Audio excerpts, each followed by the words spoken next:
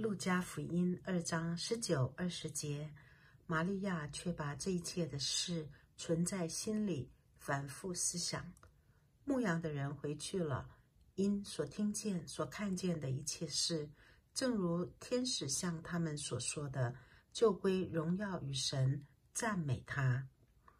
存有保护、捍卫、珍藏的意思，而反复思想。就是意思说，认真的考虑、思索，啊，把这些信息放在一起，就是表示不停的思想。玛利亚已经从天使和牧羊人那里听到关于他儿子的伟大信息，他不是听一听就过去了，他听了之后就把这一切的事珍藏、保护在心里。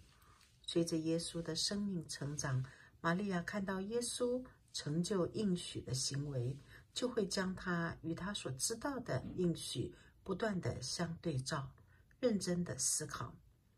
当我们默想圣经所说的话，也将圣经的话语和神在我们生命中的作为相对照应时，我们的信心就会得坚固，我们也会受到激励。而常常思想默想神的话，就是明白神旨意。住在主里面的秘诀。当牧羊人看到天使预先所说的事已经成就的时候，就归荣耀与神，赞美神。归荣耀和赞美神是一体两面的。当我们赞美神的时候，就是把荣耀归给神。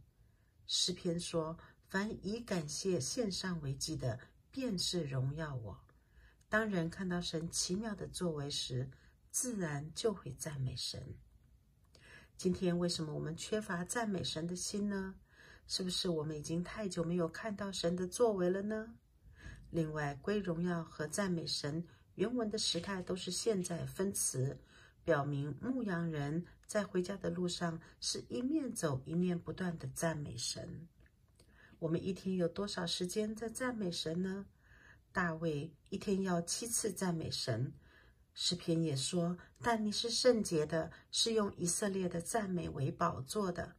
神以我们的赞美为宝座，为居所。哪里有赞美，哪里就有神的同在。”